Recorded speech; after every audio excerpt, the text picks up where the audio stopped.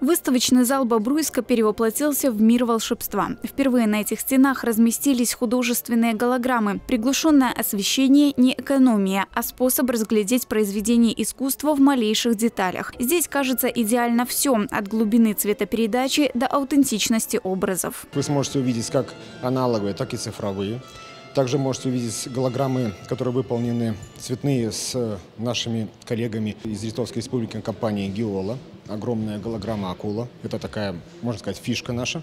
В экспозиции представлено полсотни работ. Картинка меняется в зависимости от угла наблюдения. Олимпийские мишки, Слуцкий пояс, первый белорусский спутник и книга царств. Запечатлен тут как животный мир, так и духовные ценности. Одна из крупноформатных голограмм – крест Ефросинии Полоцкой. Оптическая копия точно воспроизводит все детали на престольного распятия. Драгоценные камни, нитку жемчуга и лики архангелов. Такое ощущение, что святыня находится прямо за этим стеклом. Магическая экспозиция создана благодаря научным разработкам белорусского ученого-физика с мировым именем Леонида Танина. Технологии единственные в республике, однако активно развиваются во всем мире. Художественные голограммы уже объездили 17 стран. Ошеломляет.